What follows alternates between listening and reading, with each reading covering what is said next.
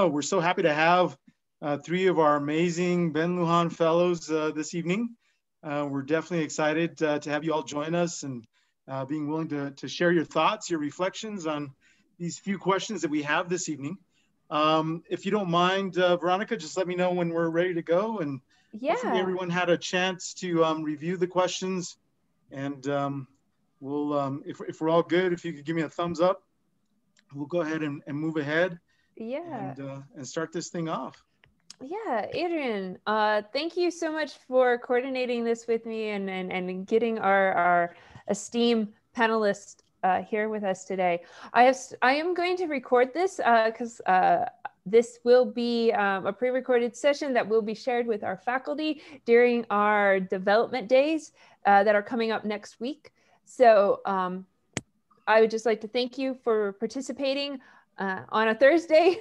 I really appreciate it. And um, so um, Adrian, please uh, let me know how I can support, but otherwise I'm gonna mute my mic and just uh, let you uh, take the reins here. We are recording.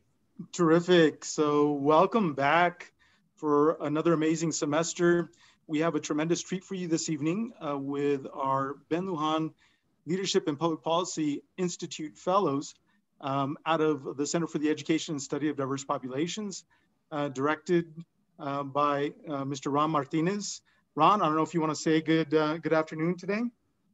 I just want to say welcome to everyone and uh, again, inspire you to have a good semester. Um, I look a little rangy because I just took off my hat and been loading wood all afternoon. But nonetheless, uh, welcome everyone, and we look forward to really having the inspiration of and the enthusiasm of your own involvement within the uh, Ben Lujan Fellows program to really kind of reflect how we can actually take your insights and make successors and successors that are coming and still staying involved within the Ben Lujan Leadership and Public Policy uh, Institute. The work that we do is paramount to the future, the future leadership of our schools and of our children and our students and families and communities. So I'd like to just preface all of that by saying, you know, our country is going through some dynamics right now where the profession of education is changing so much, so fast, so, you know, uh, the complexities are changing in, in dynamics that we're not used to or we're not prepared for. And your insights to how we can do a better job and better prepare ourselves for any of the futuristic uh, ideas and, and issues and problems that we're going to be facing, but more how we can do it in a profession that is really coming up and and allowing us this venue to really kind of think outside the box, but more importantly, to act outside the box. And your leadership will get us there. So I um, I hope all of you are inspired to share with all of uh, your insights, all of your experiences, and how we can take this forward and make a better situation for all of us. Terrific. Um, thank you, Ron, uh, for doing that quick welcome for us. Um, I'd like to begin first with just a quick introduction from, from each of you, and then I will um, set us up with our first uh, question for this evening. Um, so if you don't mind, Vanya, I'll, I'll, go ahead and begin with you. If you could just introduce yourself, let us know what, uh, what program you're in. I know you're in, in ed leadership, uh, but uh, and maybe just tell us uh, where where you're currently um, uh, involved in as far as your career. Okay, um, my name is Vanya Taylor. I am um, original from El Salvador. I, I have been um, an educator for 17 years and um, right now I work for Bernalillo Public Schools. I'm a bilingual coordinator. I'm a teacher too. And I'm working on my master's on leadership. And um, it has been a very a good time of learning a lot and improving my, um, my knowledge on education and has been very excited. And, um, and I'm very happy to be here to that you invite me and, and to get to know everybody from the group too. We're, we're so honored to have you. And um, I've, I've known you and I've seen you do your work for a number of years uh, at a distance. And it's just a pleasure to have you as a Ben Lujan Fellow. Um, it, it, truly is an honor, and I think you add a lot to uh, to to the fellowship. Um, I'm going to go now to, and forgive me, Marcos, uh, I'm, I'm, a traditionalist, so I'm going to I'm going to continue now with Megan. So, Ms. Ms. Munoz, if you could just introduce yourself briefly and share with us uh, where you're, you know, where you're from, and and let us know a little bit about you. Yeah, hi. So I'm Megan Munoz. I'm originally from Hobbs, New Mexico. I taught there for four years uh, as a fourth grade teacher and then as a middle school PE coach. And then uh, I got the wild idea that I would go to law school.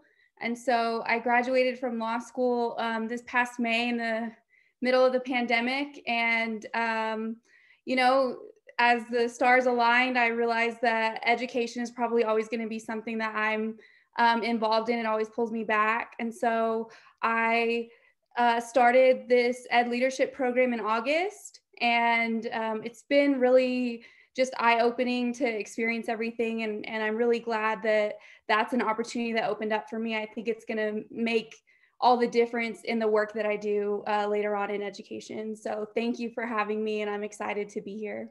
Absolutely. And thank you once again. Yet another one of our amazing university fellows uh, through the Ben Lujan Leadership and Public Policy Institute. Marcos, you're, you're the last here, and forgive my, my traditionalism uh, as far as uh, introducing um, our, our uh, lady uh, community members first. Um, feel free. Adrian, thank you very much. I'm Marcos Maes. I'm born and raised in Santa Fe, New Mexico. I actually am majoring, uh, going for my MBA through Highlands but I, I currently though am serving as the director of recruitment and dual credit programs for Santa Fe Community College. I've been working there now for over 10 years, post-secondary education, and really student equity and best serving our students and our community is something that I am extremely passionate about. It is near and dear to my heart.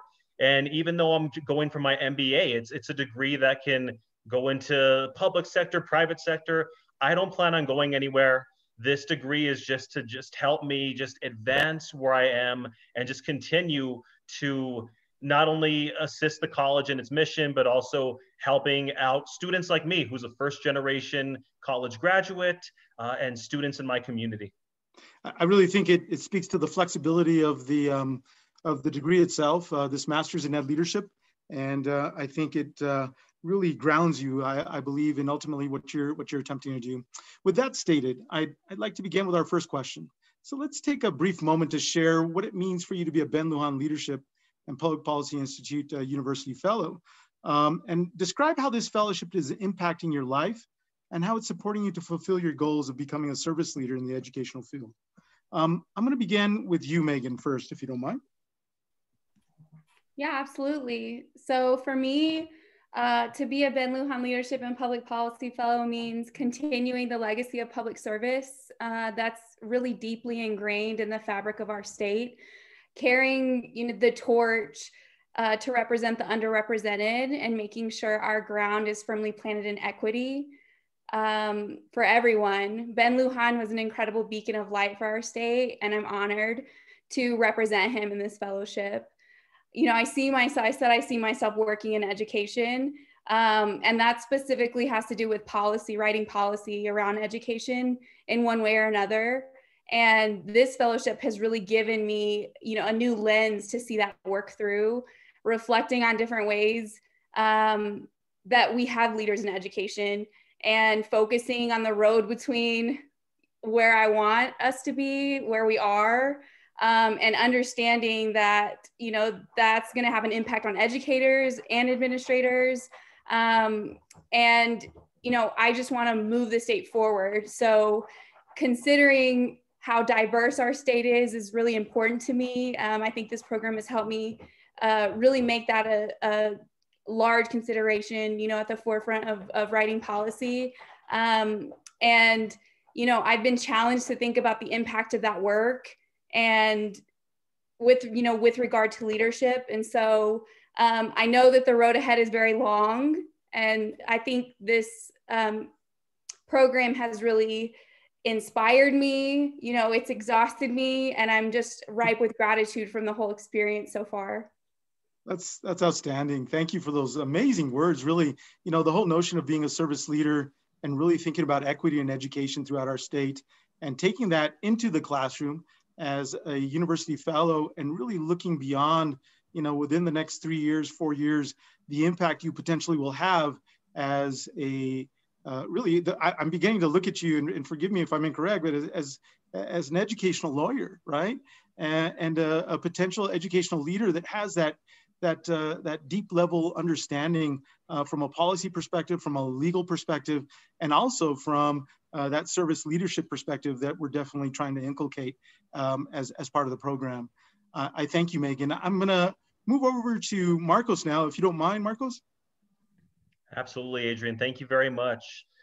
So to be a Ben Lujan Fellow, for me, it, it just it symbolizes something that it makes it possible for somebody like me to go to college, for somebody like me to continue my post-secondary education. Again, as I stated in my introduction, I'm the first person in my family to graduate from college. I'm the first person in my family to actually complete any type of a semester in college. And I had a very, very supportive family that just nudged me and pushed me along the way. So I'm very grateful for them. But to be a Ben Lujan Fellow, it means for me that, like I said earlier, it, it helps just continue to help me fulfill my goals, fulfill my dreams. I graduated with my bachelor's degree from UNM in 2008. And I told myself then, yeah, okay, I'm going to take a year or two off and I'll go for my master's degree. Well, two years obviously turned into uh, 10 years, turned into 11 years. And I kept telling myself over and over again, okay, I'll go for my master's this year, but always some excuse came up. And it was all uh, man made. It was all, I, I made up every excuse.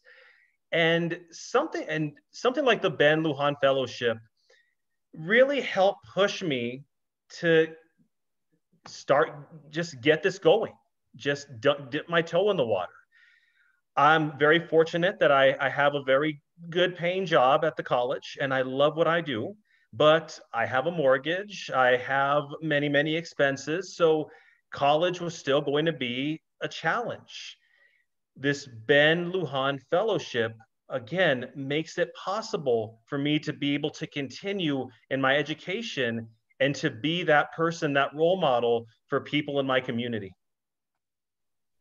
Absolutely. Um, I, I, love what I'm hearing because basically uh, what you're suggesting is that uh, by having this, this level of support, it helps you fulfill your dream that ultimately contributes uh, to our society, to our communities in ways um, that, that are beyond, um, you know, initially what perhaps you had imagined.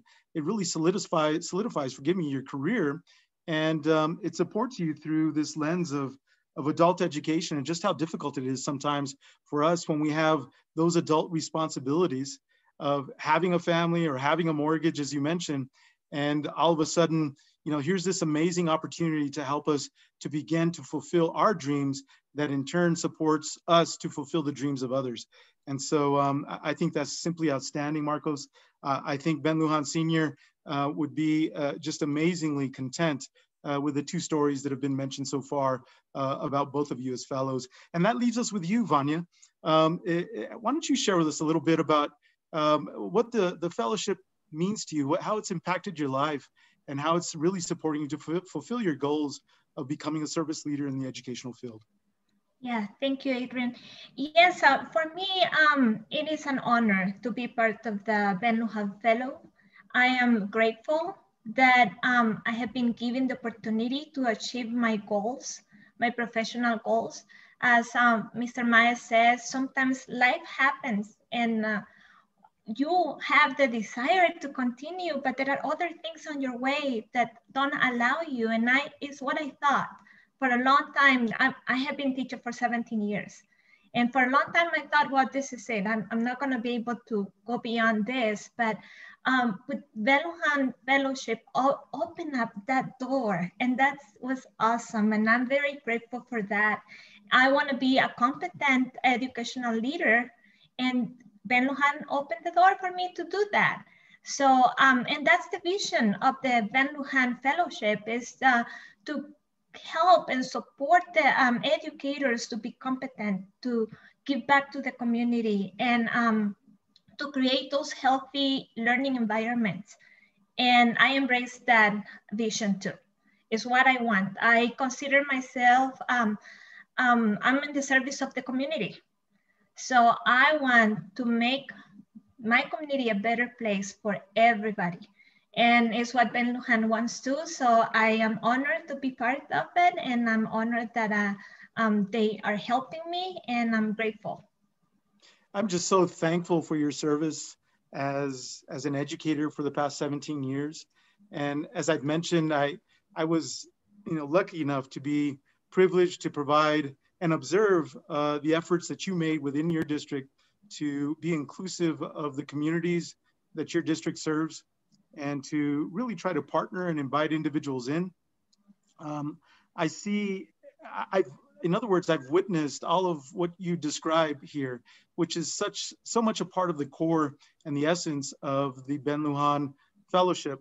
Um, that that notion of giving to community, being a service leader, um, really thinking about um, uh, the the realities of of diverse diversities, the intersectionalities that we encounter in our communities, and, and being accessible to all of those, those individuals, uh, being in, uh, accessible through to all of those families and, and to those students and making a difference in, in those lives um, and doing it in a way that's, that's truly equitable and uh, with, with an eye towards quality. And so thank you so much, Vanya, for sharing your story um, and, and for being uh, that educational leader already um, that you are uh, within your school district as, as the bilingual coordinator there. Um, I'm gonna now segue. I, I, think it's a great, great way for us to segue because it, you know, talking about a bilingual coordinator and uh, specifically about a school site that, that focuses once again on uh, this notion of instruction. Um, and the second question that I have for all of you is really what has been some of the positives? Uh, what have been some of the positives of virtual learning for you as a graduate student? Uh, what can be celebrated? So I'm, I'm going to start off with that. And, uh, and just to give you a few ideas, I mean, things like, ha have you noticed your faculty or our faculty at NMHU, uh, their ability to be agile, to be flexible and to be able to move into this uh, virtual reality? Um, are there any particular strategies or approaches that you've enjoyed? Um, the flexibility that's offered through a virtual reality, uh, uh whether it be synchronous or asynchronous modes, and the, the ease of transition perhaps that NMHU was really uh, able to support us all with. Um, so I'm just throwing out a few ideas there. Um, I'm going to start off with with you, Vanya. Uh, you spoke last. I'm, I'm going to keep you, um, you know, focused on on sharing. So please. Yes, definitely. One of the things uh, to celebrate is that all the circumstances we're living on, they haven't stopped us. We have continued, and um, the flexibility we had even before to um, being able to have online classes or face-to-face -face classes. So that was very good because the transition was not difficult. I, for me, I liked it to be with, you know, with the people and uh, the other students, and I really enjoyed that. And I remember when I was in my class, but I was able to see other students in, in other places in New Mexico, right? And, and we were like, sharing and in that dynamic that was so natural and uh, has been a good thing that now that we all are in the virtual, virtual learning um, continues. So I am I'm very happy that the transition was not difficult. It was easy and the teachers were already used to this. So they're very great, um, grateful with, uh, with all of us, giving us what we need and, and that's something to celebrate. That's excellent. Wow. Um, and I, I, have to tell you that not many universities can say that. Um, that and, and the thing that stood out for me was your comment that uh, for many of the, your professors, it was very easy for them to transition from the, the physical real-time world of being in a physical classroom uh, to the virtual mode. Um, and really, it was, it was up to us to a certain degree to fully transition as students um, in that direction. But, um, and what I'm hearing from you is you had kind of like a combination perhaps of some of your classes being live in a physical classroom and live in a virtual reality. And so when, when we went, excuse me, when we went completely virtual, it was just a very smooth transition. So um, yeah, that's that's nice to hear. Um, I want to I want to move over to Marcos now. Same question. Um, what have been some of the positives of virtual learning for you as a graduate student, and what can be celebrated? Absolutely, Adrian. So for me, it's convenience. Again, and I think all of us on this panel, I think we're all working adults. We all have full-time jobs or we have major obligations. And the virtual environment, again, makes it possible for us to be able to go to school.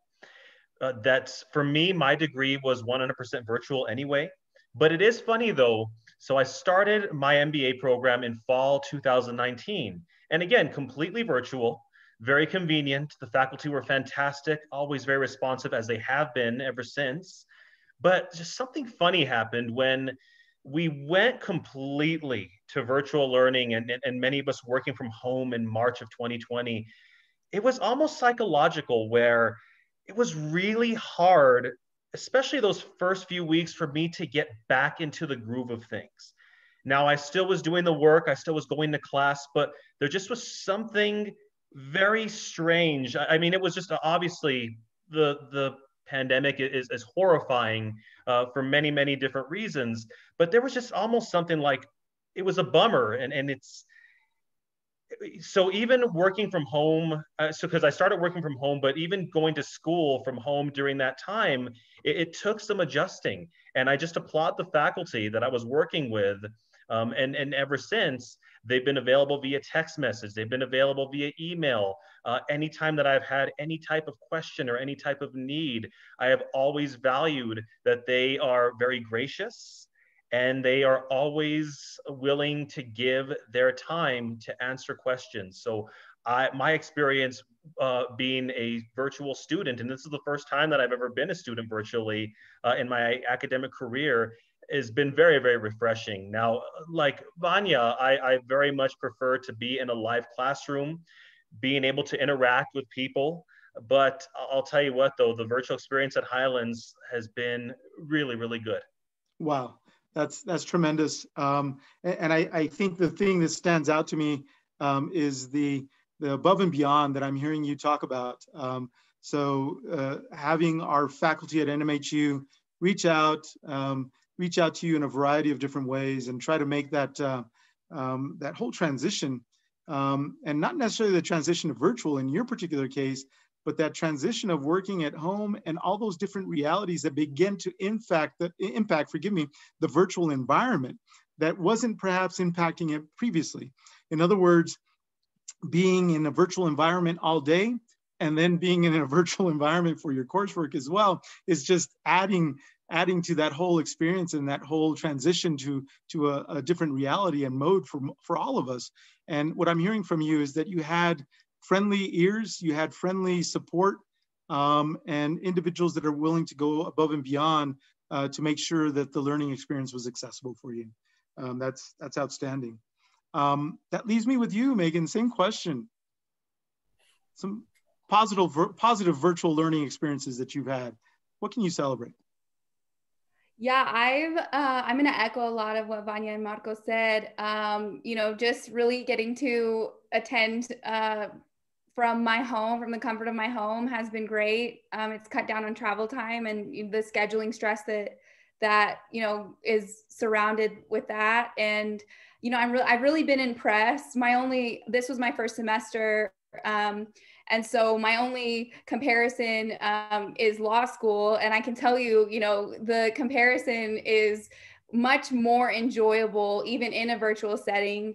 Um, just the professors and, and colleagues in my classes have, you know, found ways to make virtual learning enjoyable. You know, the transparency of being, you know, like, I don't know what I'm doing, but let's figure out how to do it together um, you know am i sharing my screen? You know just just the the hiccups that have come along the way have really you know they they take away the i guess the the superiority that professors have in classes. You know they're just humans.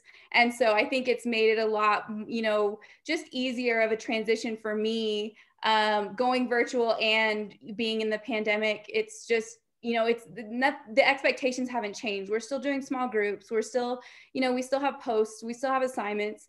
Uh, but the flexibility in those things have have definitely um, changed. And and i think you know i agree with vanya saying that i miss the interaction the you know the person to person interaction. But you know i can understand that the priority is is for everyone to stay safe. So i commend all of the faculty um, and my colleagues in my classes that have been flexible with doing that. I think it's something to celebrate too. Wow. Yeah no thank you so much for all three of you for sharing what you've shared. And megan uh, i guess the two areas that i can uh, um, uh, piggyback on would be uh, this, just this notion of flexibility and the humanity that uh, that you feel is being brought into uh, the virtual reality. And so um, those again, kudos to to NMHU and kudos to to our faculty for um, uh, supporting you all to feel this positive about about a difficult transition in many instances. Um, and that that leads me now to question number three. Um, and I'll, I'll, be I'll begin with you, Megan, uh, since we ended off with you. And, and that would be, have you noticed any gaps or areas in need of improvement relative to virtual learning at NMHU? And if so, what are they? And offer some recommendations to improve uh, because obviously, I mean, that's one of the reasons why we always leave uh, whenever we do some kind of a, uh, of a professional learning opportunity, a training, even a class, um, we have those opportunities for evaluation. And so this is a great forum uh, for us to give uh, some thought uh, about what are some areas that can be approved, improved and what are some of the recommendations you have? Yeah, so as I reflect on this question, I think it's my mind immediately goes to student support. Um, and I don't necessarily think that I have enough information about the student support services that are offered, but just from my own experience and being in these unprecedented times, I think that um, I missed the opportunity to like stay after class and talk about what somebody said. Um, you know, and just be like, let's unpack that a little bit. What did you mean by that? And um, you know the the networking that that brings and, and the the community that that builds i think is something that i felt was more challenging to do in a virtual setting because you're like oh i gotta leave now um, or you know you want you're talking over everybody to get that one person. Um, so it's not necessarily you know conducive to to network in the same way that we're used to in in the person to person setting. Um, you know i i said that that was my um, the fall was my first semester. And so i didn't i didn't know anyone in the education leadership class. I didn't know anyone in my classes. Um, and so my recommendation would be um, just to maybe consider the assignments and, and ways to make that possible in class. So um, you know, maybe if the discussion posts were like Zoom meetings and, you know, mixed in with um, the actual like internet um, discussion post on Brightspace, that might be something that can can supplement the um, networking and the person-to-person contact in the um, in the program. And um, yeah, that's I mean to me, I think that that has been a gap for me, and that's probably the best way that I can think of to address it. Um, but I'm sure there's tons of other um, ways to to get that in-person interaction too. That's that's a fantastic recommendation. Wonderful feedback, and really, I think as as we describe these things, uh, uh my my um, Ben Lujan fellows, as we describe these things, we're really on the cutting edge. We're on the cusp of making recommendations around how virtual learning can be um, even so much more uh, effective. Uh, and in this particular instance, what you're tapping into is that, that again, that sense of community at the end of a class uh, where we're able to network and reflect. And really what we're doing when we're networking and reflecting, we're deepening our roots of understanding um, uh, with our colleagues. And so we're, we're actually co-creating knowledge um, at, at, the end of those classes um, and, and collaborating around that knowledge, right? Those deeper understandings. I very much value that. Thank you, Megan. Um, and with that stated, I'm gonna move over to, um, to Vanya, if you don't mind, Vanya. The same question. Um, what are some gaps that you've noticed in areas in need of improvement, perhaps, uh, relative to virtual learning at NMHU? And what are your recommendations?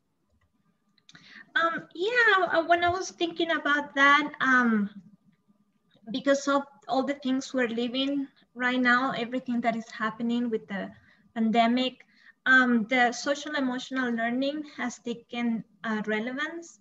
And I never been, I was never in a training before for social emotional, emotional learning before, but now before starting this school year, we, we went through this training and uh, it has been a challenge for us as um, as schools to how can we integrate that? Because it's not that it was not important before but um, it is important definitely at this time. So um, we we have been trying to integrate it into our um, classes with our students. So i was thinking that that would be something good to at this level how can we integrate that social emotional learning in the classes? Because at the end we are the role models for our students. Like I feel I need to I need to have those skills. I'm the one who's gonna be modeling for the next generation for our students. So I think it's something important that should be integrated, maybe a challenge because it has been a challenge for me. Um, but it, I think it's, it is important and it should be, it should be everywhere. It should be in pre-K all the way to higher level education too. That's Great. my only recommendation. Absolutely, no, uh, developing those interpersonal skills, right? Uh, that those those skill sets that are so valuable that that not only are critical um, with within our classrooms in, a, in the K-12 environments uh, amongst our students, but also uh, with ourselves as adults. And how do we develop those those uh, critical skill sets of uh, that, that social emotional give and take uh, that's so required in our interpersonal interactions uh, with each other on a daily basis. And how do we begin to, to further develop that repertoire that, that we have? I think it's truly valuable. And actually, it's connected to what Megan was sharing a little bit earlier, right? Um, uh, in really getting opportunities to, to build community. And as you build community, you have uh, deeper connections to understanding within the classroom. Um, I see how all of this is interrelated. Absolutely fast, fascinating, and I and I value your thoughts. Um, with that, I, would like to go over to you, Marcos. What are your thoughts on this? Any recommendations, thoughts on gaps or areas of improvement? The one recommendation that I would have is, and this is just because I this is one of the main things that I miss about being in a live classroom environment, and that's that we could have more of an opportunity to students to have discussions. And what I've noticed is when we do have our online classes, and I absolutely understand why the instructor just needs to do the lecture and, get out as much material for that day as possible. But I would absolutely appreciate, because I do miss that opportunity for students to interact with each other. And that could be interacting in the big virtual classroom setting, or that could be breakout groups. In the time that I've been in um, the classes that I've been in, I haven't had the opportunity for that. So I definitely miss that. I, I really have not had the opportunity to get to know any of my peers, any of my fellow classmates. Normally, it's we're in the virtual classroom and the instructor lectures. There's Q and A opportunity for questions and answers but that's it. But I definitely, truly do miss having the opportunity to speak to my fellow classmates and get to know them a little bit better. Other than that, though, I, I just think that uh, the virtual environment through NMHU has been incredible. Nice. Now, what I'm hearing from all three of you is is just really potentially adding uh, to to the amazing quality that we're already experiencing. And um, what you're suggesting of adding or uh, is, is really on the, on the level of, of the social interaction, the humanity, the, the community building. Um, and it, of course, I mean, the trade-off through that is uh, the deeper level uh, of understanding, because again, those are opportunities to co-create meaning um, uh, and um, uh, really develop that deeper level understanding of those really abstract ideas and concepts that we typically are dealing with uh, within our undergrad and our graduate school, particularly in this case, uh, level coursework. Um, and so I, I, very much value that. That's that's superb, you know, saying that uh, uh really what we're looking for here is uh, that that really that social side, that human side of being able to interact with each other. Um, and you've given multiple recommendations, whether it be uh, through uh, you know video video recording, whether it be through just some uh, online chat sessions and, and kind of like a, a, separate Zoom environment or breakout sessions within Zoom itself, uh, to really begin to use our voice and hear the voice of others and to develop those relationships that are so critical that uh, um, that those opportunities to uh, um, to to just build those networks as uh, Megan was mentioning a little bit more. And of course, while we're doing that, we're developing our social emotional skills as Vanya was alluding to. Uh, so oh, fantastic, I, I, love it. You're, you're, all three of you were very concise, very pointed uh, in the directions that you would hope to see um, uh, the, the virtual learning continue to, to grow and expand, right, and evolve. Uh, and that's not just here, uh, I really think it's more likely across the nation, but I, I, really do believe that NMHU is on the cusp of, of really supporting in the virtual world uh, and are far beyond a number of other, other universities. Um, I'm ready now for question number four. Um, and this question number four, I'm gonna I'm gonna send out to you directly, Marco, since you're the last one to speak here. Um, and let me just preface it by saying, well, in recent uh, with recent demands for racial and social justice across our country, there's been a greater affinity and desire to shift practices.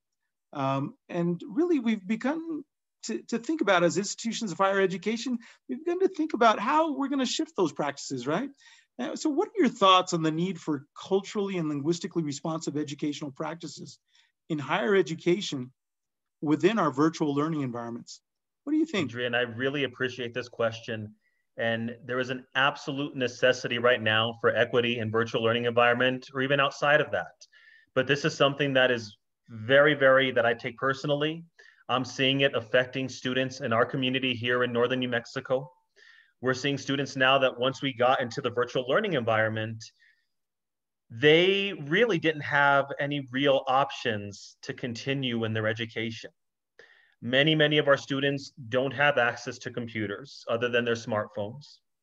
Many of those students may not have Wi Fi or any type of internet at home. So we're seeing students um, going into our parking lots because we're allowing students into the Santa Fe Community College parking lots and they're accessing our hotspots and they're actually doing their classes in the parking lot. Now, I applaud these students for showing the grit and determination for just being that determined to continuing their education and not quitting. I applaud that. I truthfully, I don't know if I could have done that if I was a 21, 22 year old student. And I'm inspired by that, but I'm also very sad to see that that's what it takes for a lot of our students to continue their education. And what is the answer? And we also are seeing students too that maybe they have access to a Google Chromebook, but that Chromebook doesn't allow students to download Zoom or doesn't allow them to download Microsoft Teams. What if those are the only platforms that that institution are doing their lectures in? Um, so that's a really hard question. And for me, I mean, I just personally would hope and wish that we could just find a way with faculty and staff and college leadership to just put our heads together to see how we can, and obviously our IT departments, to put our heads together to see how we can best serve the needs of our students. Because time and time again, we ask our students to be college ready. But I think it's more important now more than ever for us to be student ready. We need to meet our students' needs and we need to address those needs. And there's a lot of good, but there's also a lot of ugly going on right now. And we have to be willing to have those types of conversations and be honest and say, here's how this is affecting our community. Now, it's great that we're doing remote online learning, and a lot of us are benefit, benefiting from it, but a lot of students aren't. How can we meet those students' needs? No, that's wonderful. Um, and what I'm hearing from you is, is just a, a, a shout out, a, a, an encouragement for us to come together as higher um, institutions of higher education and really think about, you know, what are, and problem solve, right? Um, develop solutions in a very proactive way, um, not only as we continue out through this uh, particular semester, um, but also in potentially, you know, future semesters or just um, with the reality of our continued expansion um, as far as making um, uh, education in higher education available through the virtual world, right? The virtual lens. Um, and so we really need to be thoughtful about that um, as we proceed on uh, in our journey through the 21st century um, and be proactive about it. That's, that's what I'm hearing from you is that it, it takes action and it takes some brainstorming together as communities. Um, I thank you for that, Marcos. Um, I'm gonna move over to uh, Vanya. Uh, would you mind sharing on this? Um, so what are your thoughts on the need for culturally and linguistically responsive educational practices in higher education, uh, it's uh, higher education's virtual learning environments? Forgive me. Yeah, um, well, when I think about cultural and linguistic responsive, responsive education, I think about an education that validates and um, reflect on um, the diversity, the identity, the um, the experiences that the students have. And I like how Marcos also approached the, the other needs that the student have. I mean, what we want really is to have our eyes open and ears open for the needs and listen to our students and validate what they bring um, to our institutions, to our schools. And uh, so I, I think that, yeah, we need to um, be open for being responsible and cultural, linguistically, social cultural uh, competence too. And, um, and it goes, is I would say something multidimensional that is not just instruction itself. It's like we're talking about materials, we're talking about attitude, we're talking about the whole culture of the schools, the whole culture of institutions. So um, the, it's something that I think that it needs to be integrated in every institution, educational institution needs to really work on it and integrate it. And I like how um, the classes I'm taking have given me the opportunity to express myself. I am I'm coming from another country, so I'm I'm bring different experiences. Um, and I like how the dynamic in our classes, the classes I have been participating, give me the opportunity to express myself. And that has been very, um, um, very good for me as a person. I feel validated, I feel appreciated. And I think it's what everybody wants to feel. And then you perform even better. When, when you feel that way, you perform even better. So we wanna see that from our students too. So I appreciate that Highlands is giving me that opportunity. I think that my I am the one who's building my education. I feel the professors are facilitators, and uh, and I really appreciate that.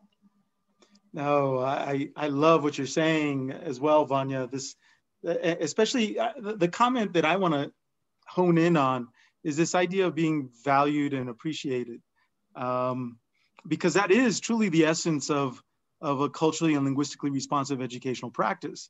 Um, as you mentioned when you first began your, your sharing, it was really talking to this idea of how do we value the, the cultural funds of knowledge uh, that our students bring into the classroom? How do we value um, and express that value for their cultural identity, their linguistic identities?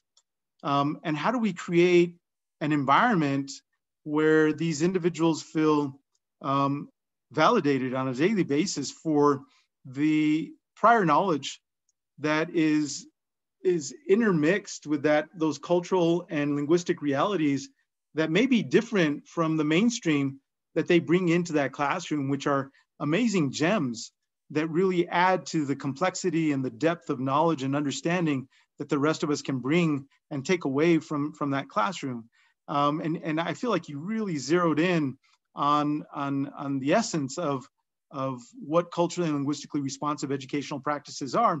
And what I'm hearing from you is that you feel uh, that you're you're experiencing some of that in in the coursework that you're taking at NMHU, and that's outstanding. That's super because that suggests that as our, as educational leaders, after graduating, we're going to create similar environments within the school communities that we now are leading.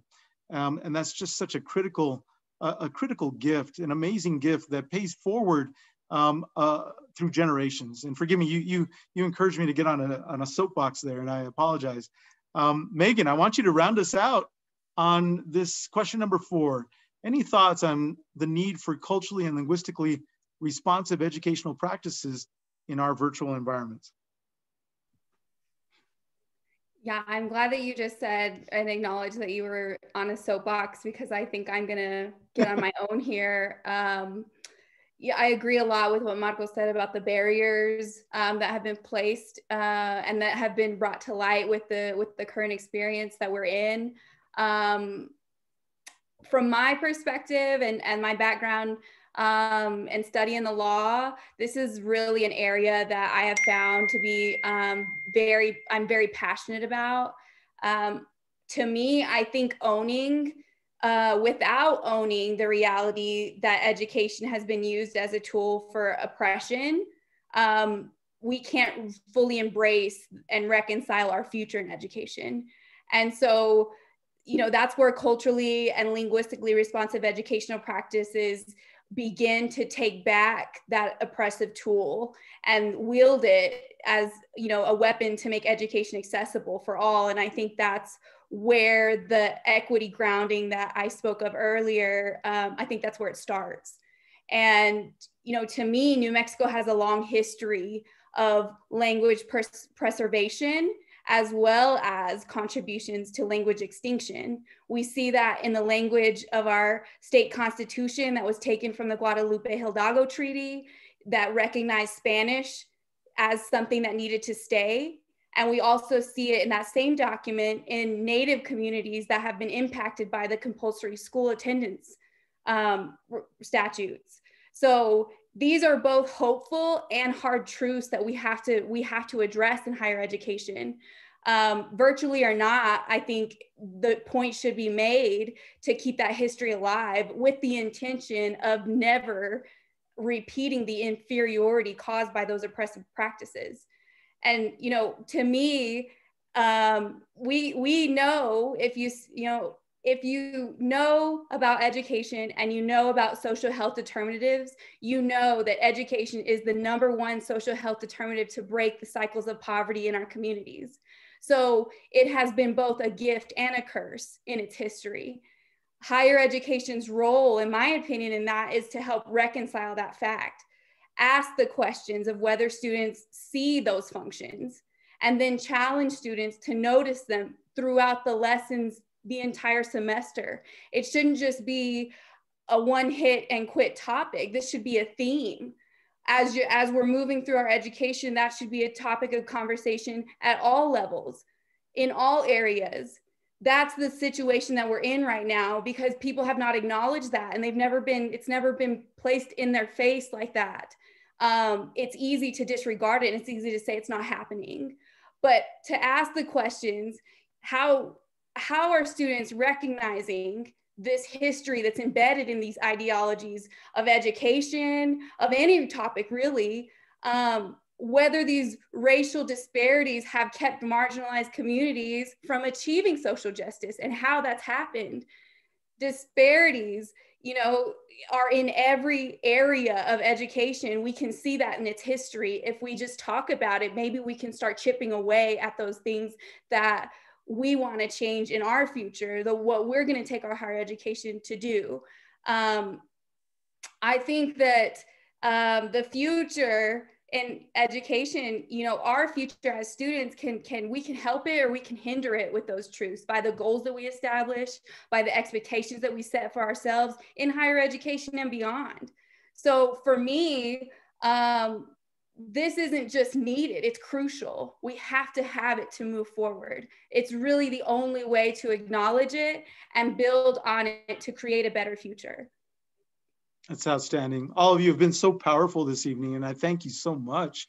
Um, just this this idea of you know really recognizing that being in a multicultural and multilingual state, that it, it's always been that way. This region, um, and really, if you think about it, all of the U.S. really at, at one point or another with our indigenous populations was so wonderfully complex culturally and linguistically, and yet through our educational efforts, sometimes, many times, unfortunately, historically, we've deliberately tried to uh, rid ourselves of the, that, that, that amazing beauty and those gifts that have given so much back to, to our country, whether it be with the Navajo code talkers, right?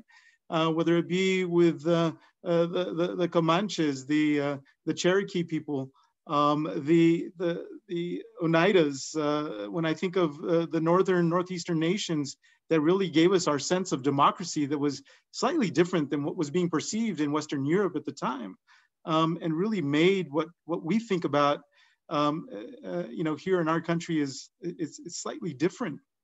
And these communities way back when were already recognizing and valuing uh, the, the, the female side of their communities as being leaders and being powerful and having crucial points and voices to go ahead and share uh, within, within their communities.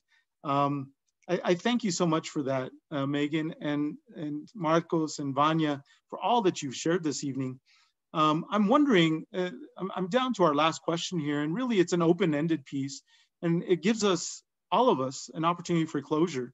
Um, so any final thoughts, surprises, um, relative to virtual learning, relative to our conversation this morning, any ahas, um, uh, this afternoon, forgive me. Um, I, am just kind of curious, uh, and feel free to, to jump in. Who, who would like to begin? And I can't see you all, so before I ask that, let me change my view here. Um, and so between Marcos and Vanya and, and Megan, which one of you would like to begin to, to close us off this evening? I'll give you two minutes roughly. Anyone? Go ahead, Megan. I just talked a lot, but I'll keep talking if you like. um, you know, I'm just, I'm always surprised by the determination of educators. And it's really, you know, if there's a way, we'll find it. Um, won't we? It, it seems like that's been the experience, um, especially in, in this pandemic, in this um, time of, of social unrest. I think both professors and, and colleagues have uh, exceeded my expectations in their ability to adapt. And virtual learning has given me, uh, particularly, the opportunity to step back and be more patient with myself and really um, be more patient with others as we all fill out this new world. And so I just want to express how grateful I am, you know, for the for the flexibility and transparent transparency and the continued support that Highlands has offered me. Uh, it's truly been you know, just a learning experience on top of a learning experience. So I really appreciate uh, all of that. That's that's wonderful. Thank you so much, Megan. Um, Marcos or Vanya, I, it seems like you're ready. I'm sorry, Vanya. Sorry, Marcos. no, it's, it's okay. Oh, well, I'm, I just want to say that um, I am very surprised that I am adapting so well to this virtual learning. I honestly never thought I was going to say, well, I'm, I'm, I'm liking it. I'm, I'm okay. I'm feeling good with it. I'm not missing anything. I don't feel that, oh, because we're in this environment, I'm not really getting what I should get from my classes. I'm not really learning what I should be learning. I don't feel that way and I'm actually adapting. And um, and I think that um, we're probably gonna continue with this, and we're gonna get better and better.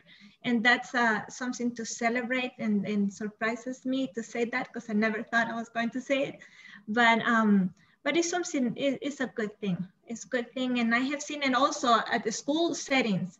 I see how teachers are getting so creative and getting so better and better on teaching virtual and, and, and I'm, I'm proud of all, all the educators for that. Absolutely. And I'm, I'm uh, again, I'm going to state it one more time. Actually, probably two more times, but I'm going to state it right now.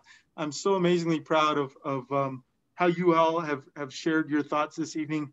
Um, and Marcos, uh, before I, uh, I continue to uh, throw praise on all three of you, um, feel free to take over the conversation now, please. I guess for me, what, what, what I've learned about myself in, in an online learning environment is that I'm very happy that I can do it. And I echo everything Vanya and Megan are saying. I am a student that, bef- I mean, my pre MBA program, I, have always been very confident and I've never really been that intimidated with um, the first day of class. I actually look forward to it. But that was in a live environment. Once I knew that I was going to be in a 100% online program, it scared the heck out of me. I will not lie. It was intimidating because it was something that I had never done before. And I just did not know how I was going to be able to successfully adapt to this. So I'm very surprised that, um, knock on wood, that I've done as well as I have thus far. Um, and I've actually enjoyed it much more than I ever thought I would. I'm somebody that really, uh, and, and again, I think we all have said this, and I'll just say this again loves to be in a live environment with people. And I love to be able to present to people and speak directly to people. So that's one thing that still I haven't been able to fully adapt to is even doing this panel. I, I know I could do a much better job if I was actually in person feeding off of the energy of the room. But even in, in my professional life and my school life, talking to a machine, and I know that there are people out there that can hear me and see me, it's just so awkward and so hard for me to get used to. But the fact that I've been able to succeed in this environment, uh, and it was going to be virtual, pandemic or no pandemic, but just the fact that I've been able to succeed really just makes me very, very happy. And I just applaud any student who um, is in the uh, online learning environment. I, I really, really do because it's it's not the easiest thing to adapt to. Absolutely. Um, and uh, no, I'm just so thankful again for everything that you have shared in such, uh, all three of you that you've shared in such a professional manner. Um, I'd like to thank uh, New Mexico Highlands University um, and the Spring Development Days, specifically Veronica Black, uh, for uh, having the trust in us as, in you all as Ben Lujan Fellows, in us as the Center for the Education and Study of Diverse Populations at New Mexico Highlands University, the Ben Lujan Leadership and Public Policy Institute, connected to CESDP. Um, you all have done an amazing job of showing the quality of, of individuals that we have within our fellows um, and our university fellows. And, and, we're just so thrilled to have been able to have been given this opportunity this evening. And uh, your light is shining, all three of you. And I wish you nothing but a, a, a wonderful semester. And I'm sure you wish the same for your for your faculty that are there in the trenches with you, uh, supporting you all. Yeah, give them, give them a, a shout out, give them a, a thumbs up. Uh, they're there for you. They, they truly are committed. Um, Ron, I'm not sure if you'd like to share one last thought and uh, uh also Veronica, feel free. Briefly, I'd like to just say thank you again to all the panelists. I think your insights have been brilliantly displayed and, and expressed in ways that will help us be more in tune with what really the realities that we all spoke about. Um, it's just insightful to know that as students, you're succeeding. And more important, I think it's a reflection of your own capacity and the caliber of what you're learning is going to be manifested into your classrooms and into your courtrooms and into your, uh, you know, any any spaces that you're going to be occupying i think the leadership that we're developing is really manifesting in all of what you expressed and how it's being done through these challenging times for all of us. And uh, again i just want to express a sincere thank you and gratitude for all of you for taking of your time today to really express that. And also adrian i'd like to really share that with you as well for um, taking on the leadership role of designing and developing this out so that we can get that kind of good proverbial vibe out there so that our instructors and our colleges of education and our business colleges can all start learning from that. I think from the insights that you all shared is that this particular learning style and, and learning concepts have to be embedded into the entire university system, not just with the School of Education, but in every one of the content areas that we that we um, express ourselves in, in in education. I know education is one of those archaic and slow moving institutions, kind of like religious or religion is, but again, these are the opportunities, and I think the way that you're all handling it as the students is is superior to how I know it's going to manifest in the future. So again, thank you for a good Good job. Well done. Thank you all. Way to go, Ben Lujan Fellows, NMHU. Thank you. Thank you. Good job, guys. Yeah, thank you so much. Okay, Thank Veronica. you so much for participating. Um, yeah, yeah. Sorry, Adrian. Uh, just uh, want to say thank you for participating in this evening, and we are right on time. So um, I, I, do appreciate your time. I will be sure to uh, share this video with you as soon as it is posted onto our website, um, along with um, some of the other programs that we will be um, sharing with our faculty on Tuesday and Wednesday of next week. Um, I really appreciate your time and learning a lot more about this program.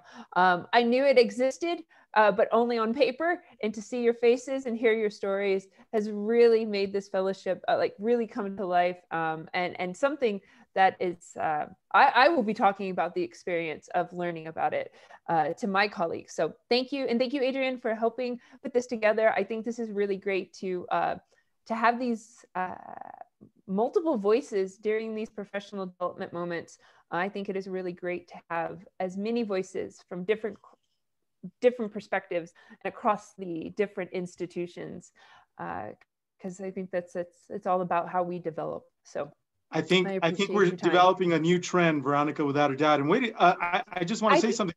This is just our. Don't we get like two more takes on this? I want to make sure it looks. Oh yeah, yeah. I'm just playing. Yeah, yeah. I'm gonna stop and then we're gonna start again. Uh, we're here all night. Um, no, just kidding, just kidding. Thanks a lot. Bye bye, y'all. This was perfect. Yes. Thank you, everyone. Bye bye. Bye. Good.